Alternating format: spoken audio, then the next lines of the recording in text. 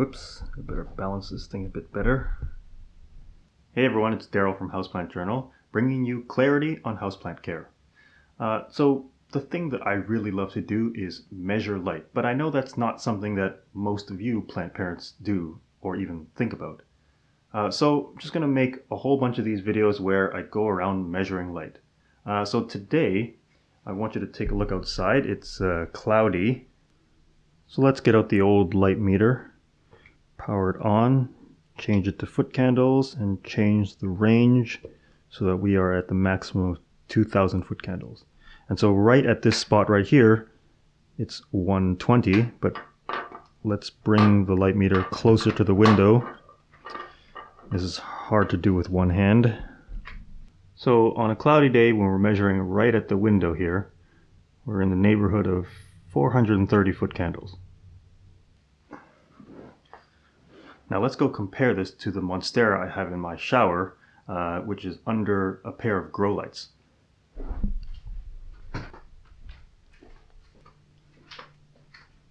So because of all the shutdowns due to the coronavirus, I had to bring the Monstera back home to take care of. So I've got it in my shower here under a pair of grow lights. Now this one here is just a kind of grow light bulb that you plug into one of these light fixture things. But this one is a Soltech Solutions 40 watt uh, grow light. So it's an extremely powerful grow light. Let's see what readings we get for this plant.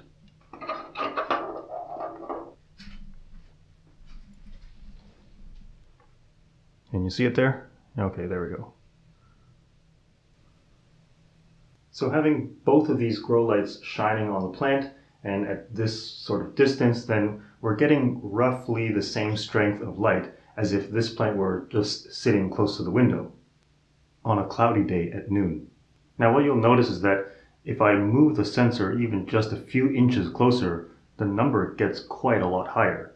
Um, now the plant could probably do fine with that strength as well, but then the problem is because the plant is so big, uh, the more you move off the center axis, that causes the reading to, to decrease a lot. So I mean, as long as most of the leaves are seeing between 200 to 400 foot candles, it'll grow just fine. And I'll leave these grow lights on for probably eight hours or so. Oh, what's that? You want PPFD? Okay, I'll get the spectrometer.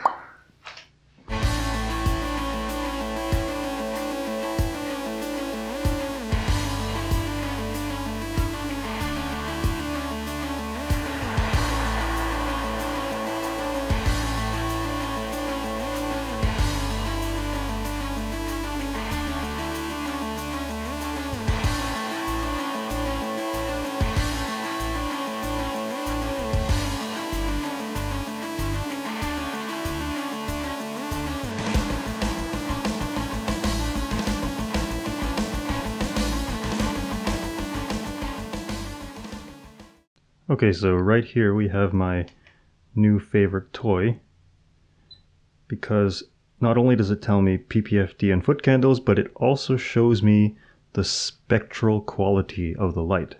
So let's take the measurement. So now notice even at a different time of the day, the foot candle reading is 568.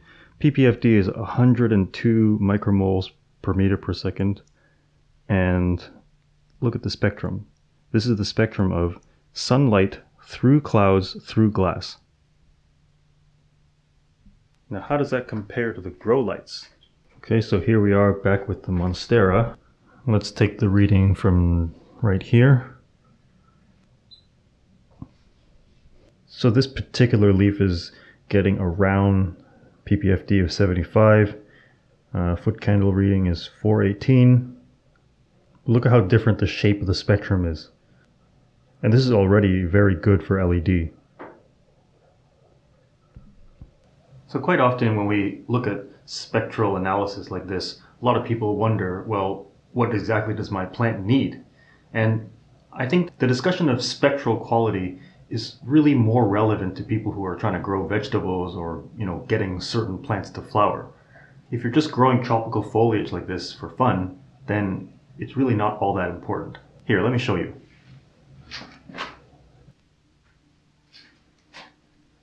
I found my old set of fluorescent grow lights. These are uh, T5 fluorescent grow lights, and they work just fine to grow my tropical foliage plants.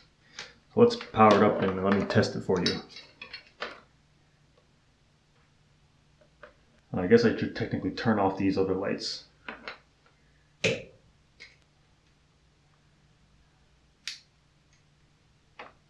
So actually we have to wait a couple minutes for these things to uh, get to their full strength.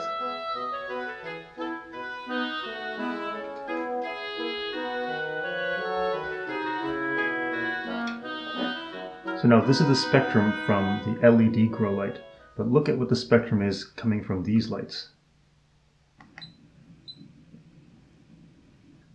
Look at that, it's so empty. It's you could almost call this like empty calories for plants. But you know, that's not really a fair assessment because I grew tropical foliage plants just fine under these lights. So even though the spectrum looks like this, they still work to grow plants. Now the difference comes in in terms of efficiency of electricity use because these two lights combined use, uh, it says 54 watts. So that means both of these lights on are consuming 108 watts. And we got Okay, so we were about a foot away getting 531 foot candles and 78 ppfd.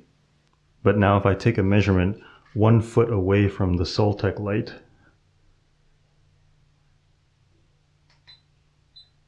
wow, we're getting 812 in the ppfd or almost 4,500 foot candles using only 40 watts of electricity.